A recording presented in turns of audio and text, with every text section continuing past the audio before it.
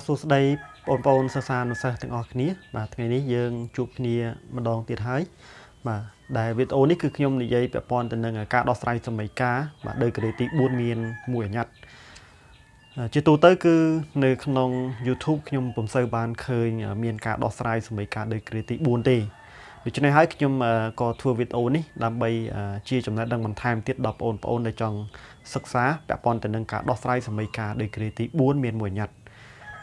អូខេអញ្ចឹងយើងឈានចូលទៅដល់ការដោះស្រាយលំហាត់របស់យើងតែម្ដង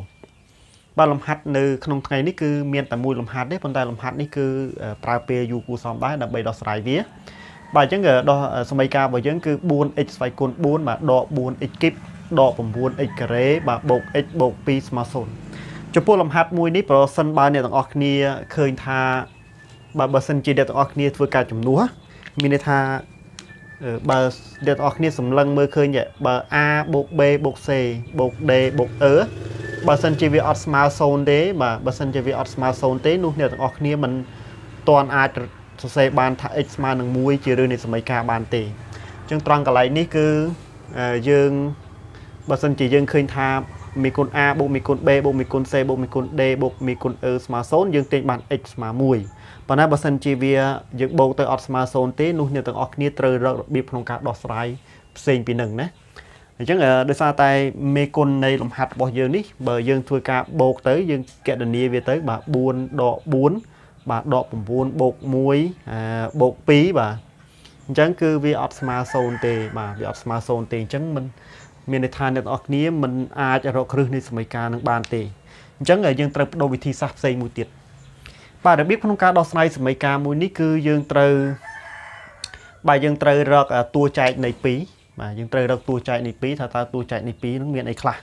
បាទតួចែកដាច់ណាបាទអញ្ចឹងតួចែកដាច់នៃ2បើសិនអ្នកអ្នកទាំងអស់គ្នាគិតទៅបាទតួចែកនៃ2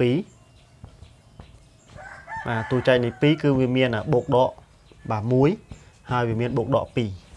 អញ្ចឹងបើសិនជាយើងយកករណីបើសិនជាយើងយកមួយទៅចំនួនទៅបាទបើយើងយកមួយទៅចំនួនទៅគឺអត់ទៀងទាត់ទេបាទអញ្ចឹងយើងសាកយកលេខដក1វិញករណីបើសិនជាបងអូនយកឬក៏អ្នកទាំងអស់គ្នាយក x ស្មើដក1ទៅចំនួនវិញម្ដង ថាតើវាស្មើ0ដែរឬទេណាបាទសំខាន់គឺយើងយកទៅចំនួនទៅបាទតួចែកទាំង4របស់វាហ្នឹងអញ្ចឹងបើសិនជាខ្ញុំយកដក1ទៅចំនួនយើងឃើញថាត្រង់នេះគឺ4បាទគុណនឹង x ស្វ័យគុណ4អញ្ចឹងត្រង់នេះគឺដក1លើកជាស្វ័យគុណ4បាទហើយដក4បាទនេះគឺដក1លើកជាស្វ័យគុណ3ហើយដកនឹងបាទ9គុណនឹងដក1បាទលើកជាការ៉េហើយបូកនឹង x x ដក1ហើយបន្តមកទៀតគឺបូក2តើវាស្មើ0ឬអត់ណាអញ្ចឹងដក1លើកជាស្វ័យគុណ4គឺស្មើនឹង1 1 គុណនឹង4បាន4ដដែលបាទដក1លើកជាស្វ័យគុណ3បាទស្មើដក1ដក1គុណដក4វាស្មើនឹងបូក4បាទនេះដកដក1លើកជាការ៉េបាន1 1គុណនឹងដក9វាស្មើនឹងដក9បាទបូកគុណនឹងដកបានដក1បាទហើយនេះគឺបូក2អញ្ចឹង4បូក4 8 8ដក8ដក9វាស្មើនឹងដក1ដក1ដក1បានដក2ដក2បូក2បាទគឺស្មើនឹង0អញ្ចឹងករណីត្រង់នេះយើងសង្កេតឃើញថា x ដែលស្មើនឹងដក1បាទដក1នេះគឺជាតួចែកនៃ2បាទអញ្ចឹងយើងឃើញថាវាផ្ទៀងទាត់បើវាផ្ទៀងទាត់មានន័យថា x ស្មើដក1គឺជារឹសនៃសមីការនឹងហើយអូខេអញ្ចឹងត្រង់នេះយើងអឺបាទគឺយើងយក x ស្មើដក1ជារឹសនៃសមីការពីព្រោះថាយើងបានធ្វើការចំនួនរួចហើយអញ្ចឹងវាផ្ទៀងទាត់បើផ្ទៀងទាត់ដូចនេះយើងទាញបាន x ស្មើដក1ជារឹសនៃសមីការ បាទបន្តមកទៀតអ្នកទាំងអស់គ្នាត្រូវចែកពហុធាបាទយើងត្រូវចែកពហុធាគឺអ្នកទាំងអស់គ្នាត្រូវយក 4x ស្វ័យគុណ4ដក 4x គីបដក 9x ការ៉េបូក x បូក2ហ្នឹងបាទយកទៅចែកនឹង x បូក1បាទដោយសារតែយើងបោះដក1មកអង្គទី1អញ្ចឹងយើងត្រូវបន្តមកទៀតបាទក្រោយពីយើងយក x ស្មើដក1គឺជារឿងនៃសមីការរួចហើយអញ្ចឹងត្រង់នេះគឺអ្នកទាំងអស់គ្នាអឺ បាទយើងចែកនេះយកត្មងទៅ បាទនេះយើងធ្វើជាអឺកន្លែងកណនីកន្លែងចែកពហុធាអញ្ចឹងត្រង់នេះគឺ 4x ស្វ័យគុណ4បាទដក 4x គីបដក 9x ការ៉េបាទបូក x បាទបូក2បាទយើងចូលវាមកចែកនឹងបាទអឺចែកនឹង x បូក1 បាទបើអញ្ចឹងឲ្យយើងធ្វើការចែកបាទអញ្ចឹង 4x ស្វ័យគុណ4មកចែកនឹង x អញ្ចឹងត្រង់នេះយើងដាក់ថាបាទ 4x មកស្វ័យគុណ3អញ្ចឹង 4x ស្វ័យគុណ3គុណនឹង x វាស្មើនឹង 4x ស្វ័យគុណ4បាទសរសេរមកត្រង់នេះគឺដក 4x ស្វ័យគុណ4 4x គីបគុណនឹង1បាទបាន 4x គីបបាទសរសេរត្រង់នេះគឺដក 4x គីបអញ្ចឹងយើងធ្វើការកណនាទៅឃើញថាបាទ 4x ស្វ័យគុណ4ដក 4x ស្វ័យគុណ4គឺស្មើ0 ដក 4x គីបដក 4x គីបបាទគឺឡើងទៅជាដក 8x គីបបន្ទាប់មកយើងទម្លាក់ដកបាទ 9x ការ៉េបាទបូក x បូក2ទម្លាក់ចុះទាំងអស់មកបាទបន្តមកទៀតដោយសារតែនេះគឺខាងមុខវាដក8យើងត្រង់នេះខ្ញុំដាក់ដក8ដែរបាទដក8បាទនេះ x គីបនេះ x អញ្ចឹងយើងគុណនឹង x ការ៉េបាទដក 8x ការ៉េបាទគុណនឹង x វាស្មើនឹងដក 8x គីបបាទសរសេរត្រង់នេះគឺបូក 8x គីប ដក 8x ការ៉េគុណនឹង1បាទវាស្មើនឹងដក 8x ការ៉េបាទសរសេរត្រង់នេះគឺបូក 8x ការ៉េបាទបន្តមកយើងកណនាមកបាទដក 8x គីបបូក 8x គីបគឺស្មើ0ដក 9x ការ៉េបាទបូក 8x ការ៉េគឺស្មើនឹងដកបាទ x ការ៉េបន្តមកយើងទម្លាក់បូក x បាទបូក2មកចុះក្រោមទាំងអស់មកបន្តមកទៀតយើងសង្កេតឃើញថានេះគឺដកបាទយើងយើងដកដែរបាទ x ការ៉េនេះ x យើងដាក់ x មកបាទអញ្ចឹងដក x គុណនឹង x វាស្មើនឹងដក x ការ៉េសរសេរមកត្រង់នេះគឺបូក x ការ៉េបាទដក x គុណនឹង1បានដក x បាទសរសេរមកត្រង់នេះគឺបូក x បាទអញ្ចឹងដក x ការ៉េបូក x ការ៉េនេះគឺស្មើ0បាទហើយ x បូក x នេះបានមក 2x បាទទម្លាក់បូក2ចុះក្រោមតមកទៀតនេះគឺ2បាទអញ្ចឹងត្រង់នេះគឺបូក2ដែរមកបាទ x x ស្មើគ្នាហើយអញ្ចឹងយើងអត់ចាំបាច់គុណនឹងអីថែមទៀតទេបាទ ចឹងបន្តមកយើងចូល2គុណនឹង x បាន 2x សរសេរត្រង់នេះគឺដក 2x ចឹងមកបាទ2គុណនឹង1បាន2បាទសរសេរមកត្រង់នេះគឺដក2អញ្ចឹង 2x ដក 2x 0បាទបូក2ដក2ក៏ស្មើ0ដែរដូច្នេះ 4x ខ្សែគុណ4ដក 4x គីបដក 9x ការ៉េបូក x បូក2បាទយកមកចែកនឹង x បូក1គឺស្មើប៉ុណ្នេះអញ្ចឹងមានន័យថាយើងអាចសរសេរថាតំណាងចែកនេះគឺស្មើនឹងតួចែកគុណនឹងផលចែក បាទអញ្ចឹងត្រង់នេះខ្ញុំអាចសរសេរបានថាគេបានបាទគេបានខ្ញុំសរសេរវាជាផលគុណកតាយកតែម្ដង គឺបាន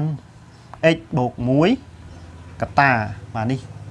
អឺ 4x ស្វ័យគុណ3ដក 8x ស្វ័យគុណ2បាទដក x បាទបូក2ហើយស្មើនឹង0អញ្ចឹងត្រង់នេះយើងត្រូវគិតតទៅទៀត បាទយកទៅគិតតទៅទៀតដោយសារតែនៅខាងក្នុងនេះគឺជាសម័យកាលដេក្រេទី3ណាជាសម័យកាលដេក្រេទី3ឬបើមិនចឹងទេត្រង់នេះអ្នកទាំងអស់គ្នាឲ្យកតាណាមួយស្មើ0សិនទៅក៏បានដែរឥឡូវខ្ញុំឲ្យកតាណាមួយស្មើ0សិនទៅយើងត្រង់នេះគឺខ្ញុំអាចសរសេរបានថា x បូក1ស្មើ0យើងទាញបាននាំមក x ស្មើនឹងដក1និងមួយទៀតគឺបាទឬមិនដឹងទេណាឬបាទ 4x គីបដក 8x ការ៉េដក x បាទបូក2ស្មើ0មួយទៀតណា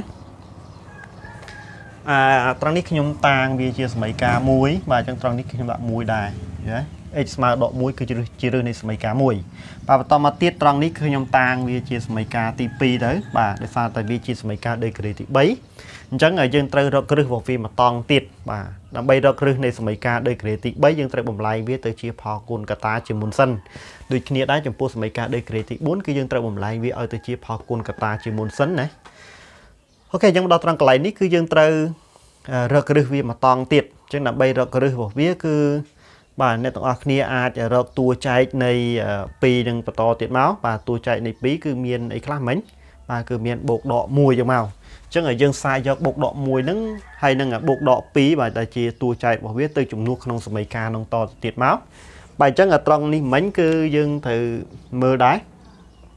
បាទត្រង់កន្លែងតួចែកនៃ2មិញគឺវាមានបូកដក1ហើយនឹងបូកដក2អញ្ចឹងត្រង់កន្លែងបូកដក1ហើយបូកដក2នេះគឺអឺ អានេះយើងបានយកវាទៅប្រើហើយអញ្ចឹងនៅសល់តែបូកដក2ឥ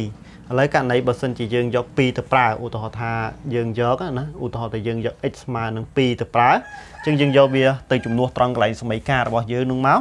បាទយើងត្រង់នេះយើងអាចសរសេរបានថាបាទនេះខ្ញុំចំនួនទៅគឺ4គុណនឹង2ស្វ័យគុណ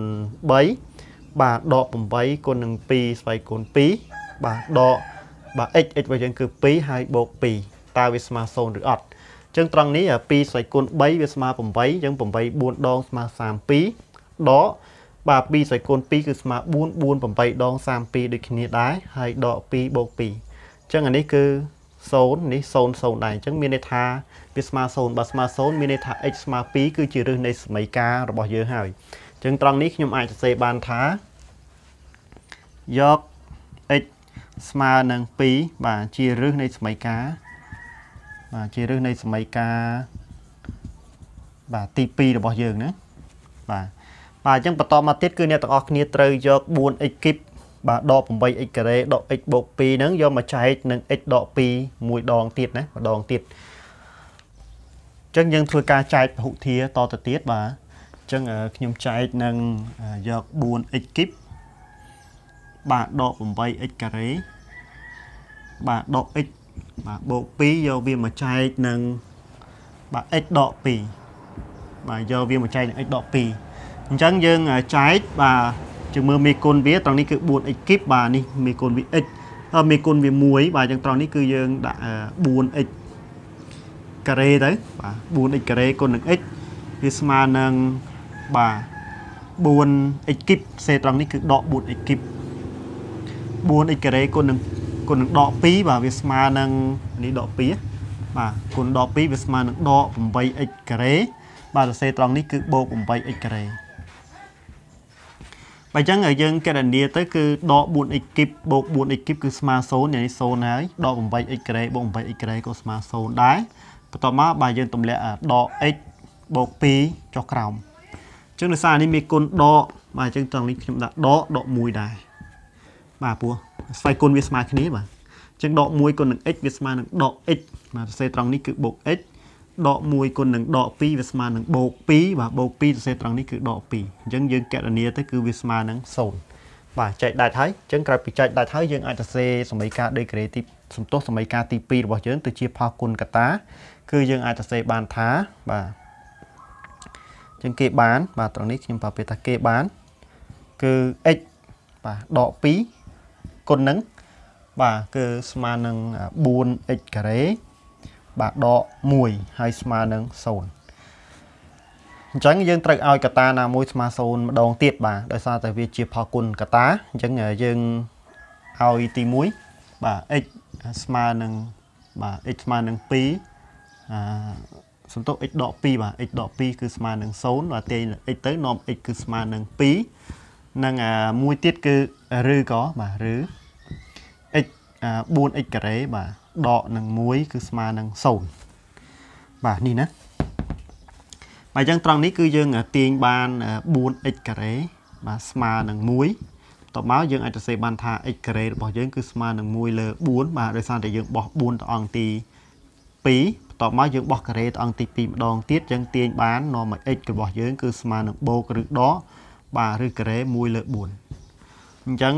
ស្មើបន្តទៀតគឺស្មើនឹងបូកឬដកបាទ1ចេញពីរ៉ាឌីកាល់មកបាន1 4ចេញពីរ៉ាឌីកាល់មកបាន2បាទអញ្ចឹងចម្លើយរបស់យើងគឺអឺឃើញអស់ហើយបាទអញ្ចឹងរឹសរបស់វាទាំង4គឺយើងបានរកឃើញហើយរឹសទី1គឺ x ស្មើនឹងដក1រឹសទី2គឺ x ស្មើនឹង2បាទហើយរឹសទី3គឺស្មើ រឹសទី3និងរឹសទី4គឺស្មើនឹងបូកដក1ភាគ2បាទយើងដូចនេះបាទ x គឺស្មើនឹងបាទអឺដក1 x ស្មើនឹង2 x ស្មើនឹងបូកដក1ភាគ2បាទជារឹសនៃសមីការ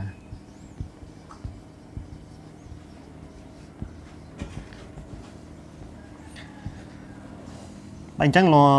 ចំពោះវីដេអូមួយនេះគឺខ្ញុំសូមបញ្ចប់ត្រឹមប៉ុណ្្នឹងចុះដោយសារតែយើងបានដោះស្រាយលំហាត់របស់យើងចប់សពគ្រប់ហើយបាទហើយបើសិនជាអ្នកទាំងអស់គ្នាចង់ទទួលបាននៅលំហាត់ថែមទៀតអ្នកទាំងអស់គ្នាអាចចុច Subscribe និងចុចរូបកណ្ដឹងទៅដើម្បីទទួលបាននៅវីដេអូបន្ថែមទៀតថ្មីថ្មីណាឬក៏មួយទៀតអ្នកទាំងអស់គ្នាចង់មើលវីដេអូដែលខ្ញុំបានផលិតពីមុនមកបាទអ្នកទាំងអស់គ្នាចូលទៅក្នុង channel មួយនេះបាទវាយពាក្យថា Math Solution ចឹងមកឃើញរូបរបស់ខ្ញុំហើយបាទឃើញអឺសំទោសឃើញវីដេអូនោះគឺឃើញរូបខ្ញុំនៅលើអា thumbnail ណានៅលើអាផ្ទាំងរូបភាពដែលនៅខាងលើវីដេអូហ្នឹងបាទឬក៏អញ្ចឹងទេអ្នកទាំងអស់គ្នាអាចតំណាក់តំណងតាមរយៈ Facebook របស់ខ្ញុំគឺបើវាយពាក្យថាសនមីសាយអញ្ចឹងមកគឺអ្នកទាំងអស់គ្នាអាចឃើញរូបខ្ញុំហើយបាទបាទអញ្ចឹងអឺ បើសិនបើអ្នកទាំងអស់គ្នាចង់បាននៅការបង្ហាញនៅមេរៀនឬក៏លំហាត់ណាមួយបន្ថែមទៀតអ្នកទាំងអស់គ្នាអាច comment នៅខាងក្រោមវីដេអូរបស់ខ្ញុំផ្ទាល់តែម្ដងដើម្បីខ្ញុំឃើញទៅខ្ញុំអាចរើសយកសំណូមពររបស់បងប្អូនឬក៏បងប្អូនអស់គ្នានឹងយកមកធ្វើ បាទជាការឆ្លើយតបទៅនឹង comment ហ្នឹងបាទអញ្ចឹងជាចុងបញ្ចប់ក៏សូមបញ្ចប់តែប៉ុណ្្នេះចុះបាទ